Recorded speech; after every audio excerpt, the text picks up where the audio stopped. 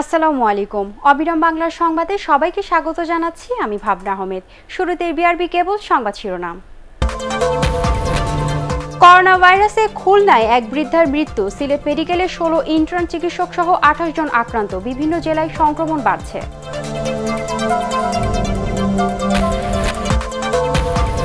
দোকানপাট ও shopping mall খুলে দেওয়ার সিদ্ধান্ত ঝুঁকিপূর্ণ। পরিস্থিতির অবনতি হতে পারে আশঙ্কা প্রধানমন্ত্রী চিকিৎসক আবদুল্লার।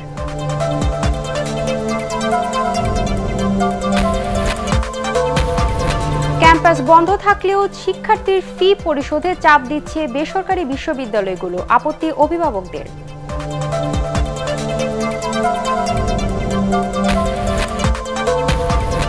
এবং হার অঞ্চলে ধান কাটা প্রায় শেষ, চলন বিল থেকে ট্রাক, ট্রলি ভর্তি ফসল নিয়ে এবার ঘরে ফিরছেন কৃষি শ্রমিকরাও।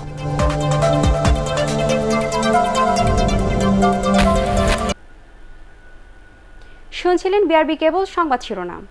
খুলনায় করোনা চিকিৎসার জন্য নির্ধারিত হাসপাতালে জরিনা বেগম নামে এক বৃদ্ধার মৃত্যু হয়েছে। মঙ্গলবার সকাল থেকেই ওই বৃদ্ধার শারীরিক অবস্থার অবনতি হতে থাকে।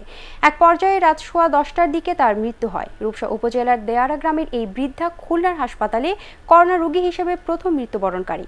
হাসপাতালের মুখপাত্র ডাক্তার শেখ ফরিদ উদ্দিন আহমেদ জানান, গত বাইশ এপ্রিল জ্বর ও শ্বাসকষ্ট নিয়ে হাসপাতালে ভর্তি হন জরিনা বেগম।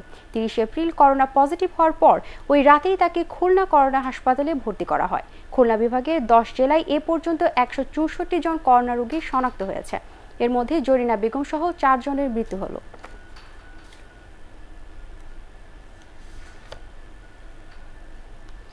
দেশের বিভিন্ন জেলায় করোনা ভাইরাসে আক্রান্ত রোগীর সংখ্যা বাড়ছে। গত চব্বিশ ঘন্টায় সিলেট ওসমানী মেডিকেল কলেজ হাসপাতালের ষোলো জন ইন্টার্ন চিকিৎসক সহ আঠাশ জন নতুন করে করোনায় আক্রান্ত হয়েছেন। তাদের মেডিকেল কলেজ, হোস্টেলে হোম কোয়ারেন্টাইনে রাখা হয়েছে বলে জানিয়েছেন স্বাস্থ্য অধিদপ্তর, সিলেট বিভাগীয় কার্যালয়ের উপপরিচালক ডাক্তার আনিসুর রহমান। এদিকে রংপুর জেলায় নতুন করে সাতজন আক্রান্ত ব্যক্তি শনাক্ত হয়েছে। এর মধ্যে দুইজন নার্স, দুইজন পুলিশ, একজন কারাগারের কর্মচারী রয়েছেন। এর আগে করোনা আক্রান্ত রোগীদের মধ্যে গাইবান্ধা জেলায় একজন, দিনাজপুরে একজন এবং নীলফামারী জেলায় একজনের মৃত্যু হয় বলে জানিয়েছে বিভাগীয় স্বাস্থ্য পরিচালক।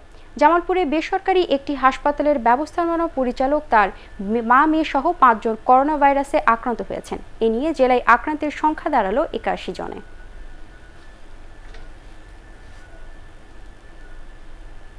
দেশে নতুন করে করোনা ভাইরাসে আক্রান্ত হয়েছেন রেকর্ড সাতশো ছিয়াশি জন। এ নিয়ে মোট আক্রান্তের সংখ্যা বেড়ে দাঁড়াল দশ হাজার নয়শো উনত্রিশ জনে। আর গতকাল একজন সহ করোনা ভাইরাস সংক্রমণে মারা গেছে একশো তিরাশি জন। সুস্থ হয়েছেন এক হাজার চারশো তিন জন। স্বাস্থ্য অধিদপ্তর অনলাইন বুলেটিনে এসব তথ্য জানানো হয়। বিস্তারিত ফজলে রাব্বির রিপোর্টে। পরিসংখ্যান বলছে, বিশ্বে করোনা ভাইরাস সংক্রমণের ভয়াবহ পরিস্থিতির শীর্ষে থাকা মার্কিন যুক্তরাষ্ট্রে আক্রান্তের সংখ্যা দশ হাজারের কোটায় প্রবেশ করে আটান্নতম দিনে। আটই মার্চ বাংলাদেশে প্রথম করোনা ভাইরাস সংক্রমণের খবর দেয় আইইডিসিআর। সেই হিসাবে বাংলাদেশেও ঠিক আটান্ন দিনের মাথায় আক্রান্তের সংখ্যা ছাড়ালো দশ হাজার। সংক্রমণের শীর্ষে থাকা যুক্তরাষ্ট্রে এ পর্যন্ত মারা গেছে আটষট্টি হাজার ছয়শো জন। স্বাস্থ্য অধিদপ্তরের নিয়মিত বুলেটিনে জানানো হয়, বাংলাদেশে করোনা আক্রান্ত হয়ে এ পর্যন্ত মারা গেছে একশো বিরাশি জন। চব্বিশ ঘন্টায় মারা গেছে পাঁচজন দেশে মোট করোনা ভাইরাসে আক্রান্ত দশ হাজার একশো তেতাল্লিশ জন। এদের মধ্যে সুস্থ হয়েছেন বারোশো নয় জন। মৃত্যুবরণ করেছেন যে পাঁচজন তাদের মধ্যে সবাই পুরুষ, সকলেই পুরুষ এবং বয়স বিভাজনে দেখা যায় যে ষাট ঊর্ধ্ব তিনজন পঞ্চাশ থেকে ষাট একজন এবং একত্রিশ থেকে চল্লিশ বছর বয়সের মধ্যে একজন। এই পাঁচজনের মধ্যে তিনজন ঢাকার, একজন সিলেট এবং একজন ময়মনসিংহের। আক্রান্তের দিক দিয়ে এশিয়ার মধ্যে চোদ্দতম বাংলাদেশে করোনা সংক্রমণের ঝুঁকিতে থাকা মোট দুই লাখ মানুষকে নেওয়া হয়েছে কোয়ারেন্টিনে। নতুন স্থাপন করা দুইটি সহ সারা দেশে করোনা শনাক্তকারী পরীক্ষা করা হচ্ছে তেত্রিশটা ল্যাবে। এ পর্যন্ত এসব ল্যাবে পরীক্ষা করা হয়েছে সাতাশি হাজার ছয়শো একচল্লিশ জনের নমুনা। এই নমুনা সংগ্রহ গত চব্বিশ ঘণ্টার চেয়ে একুশ দশমিক এক এক শতাংশ বেশি এবং যেটা আমরা পরীক্ষা করেছি ছ হাজার দুশো ষাট এটা গত দিনের চেয়ে ষোলো দশমিক ছয় এক শতাংশ বেশি। স্বাস্থ্য অধিদপ্তরের তথ্য অনুযায়ী রাঙামাটি বাদে দেশের তেষট্টি জেলাতেই করোনা সংক্রমণ ছড়িয়ে পড়েছে। এর মধ্যে সবচেয়ে বেশি আক্রান্ত হয়েছে রাজধানী ঢাকায় চার হাজার সাতশো আশি জন। ফজল রাব্বি, এটিএন বাংলা, ঢাকা। বকেয়া বেতন ও পরিবহন চালুর দাবিতে রাজধানীতে বিক্ষোভ করেছেন শ্রমিকরা। পরে পুলিশ ও সেনাবাহিনীর সদস্যরা ঘটনাস্থলে পৌঁছে পরিস্থিতি নিয়ন্ত্রণে আনেন। এদিকে সরকারি তথ্য বিভ্রান্তির কারণে মঙ্গলবার অনেক শপিং মল ও মার্কেটের সামনে ছিল ব্যবসায়ী এবং দোকান কর্মীদের ভিড়। বিস্তারিত জানাচ্ছেন শারফুল আলম। বকেয়া বেতন ও যানবাহন চালুর দাবিতে রাজধানীর গাবতলী ও মালিবাগে সড়ক অবরোধ করে বিক্ষোভ করেছে শ্রমিকরা। সড়কে অবস্থান নিয়ে পোশাক কর্মীরা বকেয়া বেতনের দাবিতে নানা স্লোগান দিতে থাকে। তিন মাস ধরে বেতন পাই না আমগো খালি পঁচিশ তারিখ কয় আঠাশ তারিখ এরকম করে ঘুরাইতাছে। পুলিশ আমগরে মারধর করতেছে রাস্তা নামতে দেয় না আমগো টাকাও তিন মাস ধরে দেয় না। পুলিশে মারে কেন? পুলিশে মালিক পক্ষ লকডাউনের মধ্যেও সড়ক অবরোধের কারণে রামপুরা মালিবাগ সড়কে দেখা যায় যানজট। পরে সেনাবাহিনী ও পুলিশ সদস্যদের হস্তক্ষেপে পরিস্থিতি শান্ত হয়। এদিকে করোনা মহামারীর মধ্যেও নানা অজুহাতে ঢাকায় ফেরা বাড়ছে যে গাড়িগুলোর কাগজপত্র দেখতেছি এবং অযৌক্তিকভাবে তারা কোনো কারণ ছাড়া অহেতু ঘোরাফেরা করতেছে, তাদেরকে আমরা মামলা দিচ্ছি। সোমবার দুই দফায় দুই রকম সরকারি ঘোষণায় বিভ্রান্ত হয়ে রাজধানীর গাউসিয়া মার্কেটের সামনে জড়ো হন ব্যবসায়ী ও বিক্রয় কর্মীরা। পরে ব্যবসায়ী সমিতির সদস্যরা এসে তাদের সেখান থেকে চলে যাওয়ার অনুরোধ জানান। আমাকে আসালো কেন? কোন কারণে আমাদের ফোন করে আনলো মালিক? সেলসম্যানগুলো যে কষ্ট করে আসছে আসলে এই কষ্টের ভুগিভুগি কে হবে? সরকারের বাইরে যেহেতু আমরা কোনো কিছু করতে পারব না। ছোঁয়াচে ভাইরাসের কারণে বারবার শারীরিক দূরত্বের কথা বলা হলেও তা বাজারগুলোতে বেশিরভাগ ক্ষেত্রে মানা হচ্ছে না। জনস্বাস্থ্য বিশেষজ্ঞরা বলছেন, বাজার শহর সব ক্ষেত্রে সামাজিক দূরত্ব বজায় রেখে কেনাকাটা করতে হবে, তবে বাজারগুলোতে অনেকাংশেই তা মানা হচ্ছে না। ক্রেতা বিক্রেতারা বলছেন, সাধারণ মানুষের মধ্যে সচেতনতা না বাড়লে কোনোভাবেই এই ভাইরাসের সংক্রমণ থেকে মানুষ রক্ষা পাবে না। শরফুল আলম, এটিএন বাংলা, ঢাকা। করোনা ভাইরাসের মধ্যেই আগামী দশ মে থেকে দোকানপাট ও শপিং মল খুলে দেওয়ার সিদ্ধান্তকে ঝুঁকিপূর্ণ বলে মনে করছেন প্রধানমন্ত্রীর ব্যক্তিগত চিকিৎসক doctor A B M Abdullah. তার মতে, এতে পরিস্থিতির অবনতি হতে পারে। তিনি বলেন, খুলে দেওয়া হলে স্বাভাবিকভাবেই ঈদকে সামনে রেখে এসবে মানুষের ভিড় বাড়বে, ফলে অনেকটাই উপেক্ষিত হতে পারে সামাজিক দূরত্বের বিষয়টি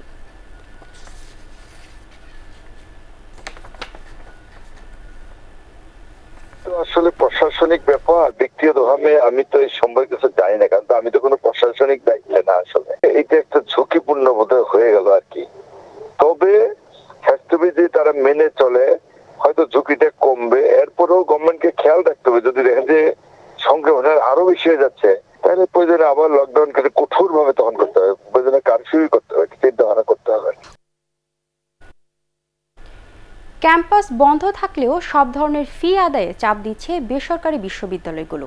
শিক্ষার্থীদের উপর চাপিয়ে দেওয়ার চেষ্টা করছে অনলাইনে ক্লাস, পরীক্ষা এবং পরবর্তী সেমিস্টারে ভর্তি।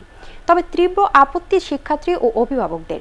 বিশ্ববিদ্যালয় মঞ্জুরি কমিশন জানিয়েছে, বর্তমান পরিস্থিতিতে সবার কাছে গ্রহণযোগ্য একটি গাইডলাইন তৈরি করা হচ্ছে। আরও জানাচ্ছেন মাহবুব কবির চপল করোনার কারণে গত সতেরো মার্চ থেকে বন্ধ দেশের সব শিক্ষা প্রতিষ্ঠান। এ সময়ে অনেক বেসরকারি বিশ্ববিদ্যালয় অনলাইনে ক্লাস নেয়। ভর্তি ও পরীক্ষা নেয়ারও প্রস্তাব দেয়। প্রথমে আপত্তি জানালেও পরে তাতে সম্মতি দেয় বিশ্ববিদ্যালয় মঞ্জুরি কমিশন। এরপর থেকে সেমিস্টার সহ যাবতীয় ফি আদায়ে চাপ দিচ্ছে অনেক বেসরকারি বিশ্ববিদ্যালয়। প্রস্তুতি ছাড়া অনলাইনে পরীক্ষা আর ক্যাম্পাস বন্ধ অবস্থায় টাকা আদায়ে চাপ দেওয়ার ঘটনায় ক্ষুব্ধ শিক্ষার্থী ও অভিভাবকরা। আমরা কখনোই অনলাইনে পরীক্ষা বা ক্লাস দিয়ে অভ্যস্ত নেই। কাজে এখন যদি হঠাৎ করে আমরা অনলাইনে পরীক্ষা দেবার কথা হয় তাহলে সেটা হবে আমাদের বেসরকারি বিশ্ববিদ্যালয়ের শিক্ষার্থীদের জন্য একটি স্বৈরাচারী সিদ্ধান্ত। অধিকাংশ বেসরকারি শিক্ষা প্রতিষ্ঠানগুলো শিক্ষার্থীদের কাছে তাদের পরীক্ষা সম্পন্ন করতে এবং নতুন সেমিস্টার রেজিস্ট্রেশন করতে টিউশন ফির জন্য প্রয়োগ- চাপ প্রয়োগ করছে। আমার সন্তানরা তো এই ক্লাসে যায় নাই পুরা সেমিস্টারে এই জন্য তাদের পুরা সেমিস্টার ফিটা দেওয়া একটা অযৌক্তিক ব্যাপার না? দেশে প্রায় একশো বেসরকারি বিশ্ববিদ্যালয় শিক্ষা কার্যক্রম চালাচ্ছে। শিক্ষার্থী চার লাখ। বেশিরভাগ ক্ষেত্রেই মধ্যবিত্ত পরিবারের সন্তানরা এসব বিশ্ববিদ্যালয়ে লেখাপড়া করছেন। করোনার মধ্যে তাদের উপর এ ধরনের চাপ দেয়ায় প্রশ্নের সৃষ্টি হয়েছে। তবে বিশ্ববিদ্যালয় কর্তৃপক্ষ তা খুব একটা আমলে নিচ্ছেন না। অনলাইনে সমস্ত শিক্ষা কার্যক্রম চলবে। প্রত্যেকটা ইউনিভার্সিটির এই ক্যাপাসিটি আছে, নাই এটা ভুল কথা। কম বেশি। ছাত্রদের থেকেই বেতনটা নিয়ে এক টাকাটা খরচ হয় কোথায়? খরচ হয় হলো শিক্ষকদের বেতন কর্মকর্তা, কর্মচারীদের বেতন এবং ইউনিভার্সিটির ডেভেলপমেন্ট আমরা তো আমাদের পকেটে করে আনি না, বরং আমরা আরও পকেট থেকে দিতে হয়। এ অবস্থায় অনলাইনে শিক্ষা কার্যক্রম নিয়ে গাইডলাইন তৈরি করছে ইউজিসি তবে শিক্ষার্থীদের উপর যাতে চাপ না পড়ে সে বিষয়ে সবচেয়ে বেশি গুরুত্ব দেওয়ার কথা জানিয়েছে প্রতিষ্ঠানটি। আমরা চেষ্টা করছি যে এমন একটি গ্রহণযোগ্য গাইডলাইন দিতে যাতে অনলাইনে যে সমস্ত শিক্ষার্থীদের সক্ষমতা রয়েছে ক্লাস করতে পারবে, আর যারা অনলাইনে ক্লাস করতে পারবে না তারও তাদেরও যেন শিক্ষা জীবন বিঘ্নিত না আশা করছি এই সপ্তাহের মধ্যে এই গাইডলাইন তৈরি হয়ে যাবে। কোনোভাবেই কোনো বিশ্ববিদ্যালয় কর্তৃপক্ষ এই সংকটকালীন সময়ে কোনো ছাত্রছাত্রীদেরকে সেশন ফি দেওয়ার জন্য চাপ প্রয়োগ করা হবে না। আমাদের গাইডলাইনে আমরা বিশ্ববিদ্যালয় মঞ্জুরি কমিশনের পক্ষ থেকে এই বিষয়টিও সুস্পষ্ট করে বলা হবে। উন্নত দেশে অনলাইনে শিক্ষা কার্যক্রম চালু হয়েছে। দেশেও পর্যাপ্ত প্রস্তুতির পর এ পদ্ধতি চালুর পরামর্শ গবেষকদের। মাহবুব কবির চপল, এটিএন বাংলা, ঢাকা। লকডাউন কতদিন চলবে সে বিষয়ে পরামর্শ দেবে সতেরো সদস্যের জাতীয় করোনা টেকনিক্যাল পরামর্শক কমিটি। সচিবালয়ে করোনা টেকনিক্যাল কমিটির সভা শেষে স্বাস্থ্যমন্ত্রী জাহিদ মালিক এ কথা জানান। এছাড়া ঈদে শপিং মল ও দোকানপাট বন্ধ রাখা হবে কিনা সে ব্যাপারেও সরকারকে পরামর্শ দেবে এই কমিটি। দেশের এই উচ্চ পর্যায়ের বিশেষজ্ঞ চিকিৎসকদের মতামত সরকার অবশ্যই গুরুত্বের সাথে বিবেচনা করবে বলেও জানান স্বাস্থ্যমন্ত্রী।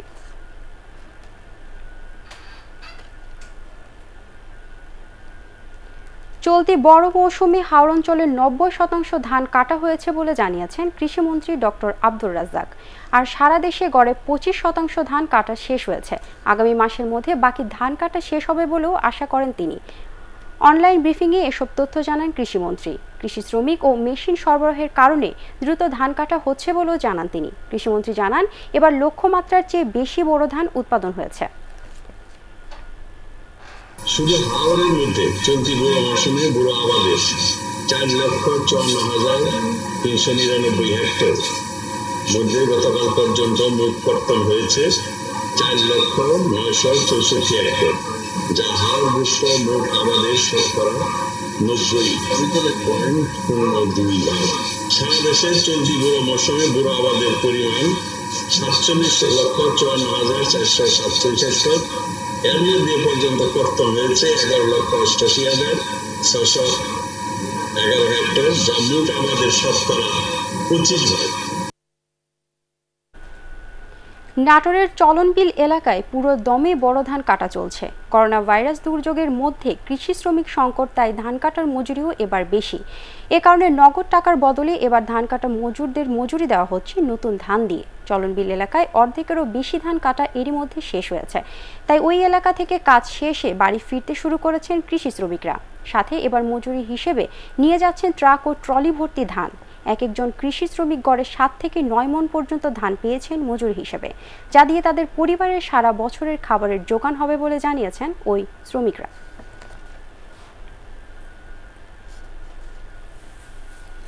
দৃষ্টি প্রতিবন্ধীদের মধ্যে ত্রাণ বিতরণ করেছে জাতীয় প্রতিবন্ধী ফোরাম ও ক্রীড়া প্রতিবন্ধী সমিতি। সমিতির প্রধান উপদেষ্টা ও এটিএন বাংলার চেয়ারম্যান ডক্টর মাহফুজুর রহমান এ সময় উপস্থিত ছিলেন। বিস্তারিত রাবে আক্তার সুবর্ণা রিপোর্টে। করোনার করুণ পরিস্থিতির মধ্যে নিম্ন আয়ের মানুষের সহায়তায় এগিয়ে এসেছে অনেক বেসরকারি সংস্থা ও ব্যক্তি। তারই ধারাবাহিকতায় দৃষ্টি প্রতিবন্ধী কর্মহীনদের সহায়তায় এগিয়ে এসেছে জাতীয় প্রতিবন্ধী ফোরাম ও ক্রিয়া প্রতিবন্ধী সমিতি। তাদের দেয়া হয় চাল, ডাল, আলু, চিনি এবং নগদ টাকা। এসব সহায়তা তুলে দেন এটিএন বাংলা ও এটিএন নিউজের চেয়ারম্যান ডক্টর মাহফুজুর রহমান। ছয় বছরের বাচ্চা আছে, ওর মুখেও খাবার তুলে দিতে পারছি না। এজন্যই আমি এখানে ত্রাণ নিতে এসেছি। বর্তমানে যে একটা মহামারী ভাইরাস চলছে তার থেকে মুক্ত থাকার জন্য আমি তাদের কাছে অনুরোধ করব যাতে ভবিষ্যতে সামনে যাতে ঘরে ঘরে যারা প্রতিবন্ধী মানুষ আছে তাদের দোরগোড়া পৌঁছে দেয়। এ সময় অসহায় মানুষের পাশে দাঁড়াতে বিত্তবানদের প্রতি আহ্বান জানানো হয়। এটিএন বাংলা ও জাতীয় প্রতিবন্ধী ফোরামের পক্ষ থেকে। যারা ঘর থেকে বেরোতে পারে না ত্রাণ আনতে যেতে পারে না আমরা এই প্রতিবন্ধী ফোরাম এবং জাতীয় প্রতিবন্ধী ক্রীড়া সমিতির উদ্যোগে তাদেরকে এখানে নিয়ে এসে নিজস্ব ব্যবস্থাপনায় তাদেরকে আজকে ত্রাণ দেওয়ার কাজ করছি। আপনার এলাকায় আপনার জেলায় সব জায়গায় কিন্তু প্রতিবন্ধীরা রয়েছে। আপনারা সকলে মিলে এই সহযোগিতার হাত বাড়িয়ে দিন। এই ধরনের শিশু কিশোর যারা আছে তাদেরকে আমরা ইনশাল্লাহ যেভাবে চেষ্টা করছি সাপোর্ট দিতে এবং আমাদের দেশবাসীর যারা দেশে যারা ধনাঢ্য ব্যক্তিবর্গ আছে ওনারাও আমরা আশা করব যে ওনারাও এদের পাশে এসে দাঁড়াবে। এ সহায়তা অব্যাহত থাকবে বলে জানান তারা। রাবে একটা Suborna ATN Bangla Dhaka.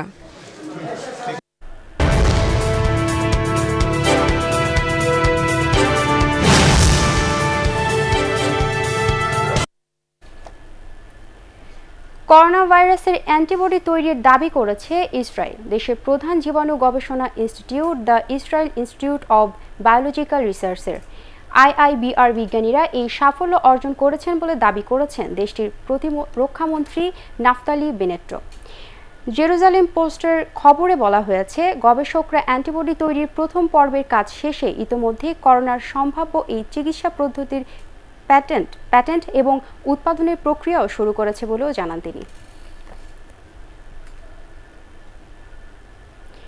Corona virus সংক্রমণ প্রতিরোধে টিকা বা ভ্যাকসিন গবেষণার জন্য পাঁচশো মিলিয়ন ডলার দেওয়ার প্রতিশ্রুতি দিয়েছে সৌদি আরব।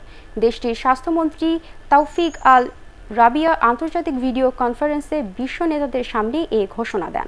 এর আগে এই ভাইরাসের বিরুদ্ধে লড়তে আট বিলিয়ন ডলারের তহবিল গঠন করতে সম্মত হন বিশ্ব নেতারা।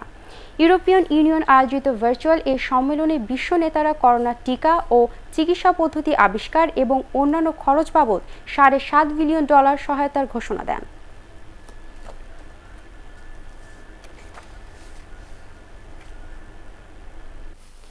বৌদ্ধ ধর্মাবলীদের সবচেয়ে বড় ধর্মীয় উৎসব শুভ বুদ্ধ পূর্ণিমা আজ। বৌদ্ধ ধর্মাবলীদের মতে বৈশাখী পূর্ণিমার এই তিথিতে গৌতম বুদ্ধ জন্মগ্রহণ করেছিলেন এবং একই তিথিতে মহাপরিনির্বাণ লাভ করেছিলেন। তাই এই দিনে প্রতি বছর তারা মন্দিরে বুদ্ধের বন্দনায় রত থাকেন। কিন্তু এবার পরিস্থিতি ভিন্ন।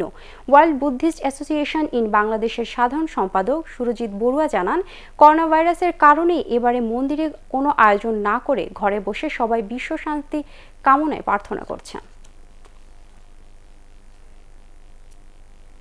বিহারে না গিয়ে আপনার বাসায় আপনার বাড়িতে আপনারা নিজ নিজ এই ধর্ম পালন করবেন এবং আপনারা বৌদ্ধ বৌদ্ধের নিকট প্রার্থনা করবেন বৌদ্ধ পূজা দিবেন।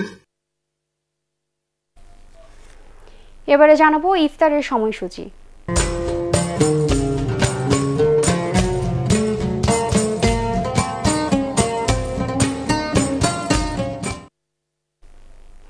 আজ ঢাকায় ইফতার সন্ধ্যা ছয়টা চৌত্রিশ মিনিট, রাজশাহীতে সন্ধ্যা ছয়টা একচল্লিশ মিনিট, চট্টগ্রামে ছয়টা পঁচিশ মিনিট, সিলেটে ছয়টা উনত্রিশ মিনিট, খুলনায় ছয়টা তেত্রিশ মিনিট, বরিশালে ছয়টা বত্রিশ মিনিট, রংপুরে ছয়টা একচল্লিশ মিনিট এবং ময়মনসিংহে ইফতার সন্ধ্যা ছয়টা পঁয়ত্রিশ মিনিট।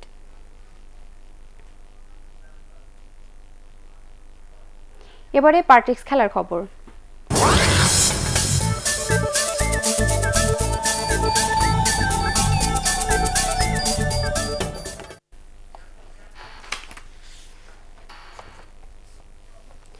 বাংলাদেশের ওয়ানডে অধিনায়ক তামিম ইকবালকে খেলার সময় অন্যের কথা নয়, নিজের মনের কথা শুনতে বলেছেন সাবেক অধিনায়ক মাশরাফি বিন মোর্তজা। এছাড়া দেশের ক্রিকেটের উন্নতির জন্য কিছু পরামর্শও দেন তিনি।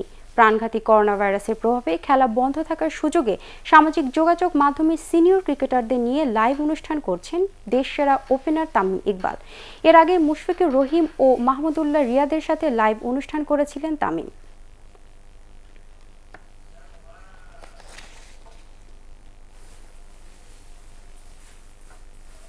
শেষ করার আগে বিআরবি কেবল সংবাদ শিরোনাম আরেকবার। করোনা ভাইরাসে খুলনায় এক বৃদ্ধার মৃত্যু। সিলেট মেডিকেলে ষোলো ইনস্ট্যান্ট চিকিৎসক, আঠাশ জন আক্রান্ত। বিভিন্ন জেলায় সংক্রমণ বাড়ছে।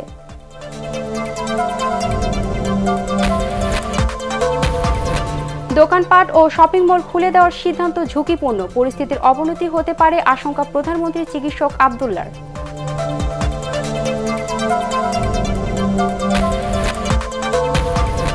ক্যাম্পাস বন্ধ থাকলেও শিক্ষার্থীদের ফি পরিশোধে চাপ দিচ্ছে বেসরকারি বিশ্ববিদ্যালয়গুলো, আপত্তি অভিভাবকদের।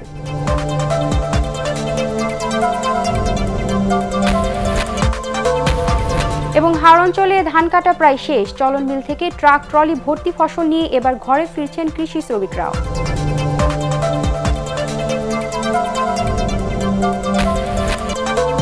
দর্শক, পরবর্তী সংবাদ দেখার আমন্ত্রণ জানিয়ে এখনকার মতো শেষ করছি। সবাই ঘরে থাকুন, নিরাপদে থাকুন। এটিএন বাংলার সংবাদ ইউটিউবে দেখতে ব্রাউজ করুন, YouTube slash ATN Bangla news ধন্যবাদ সবাইকে।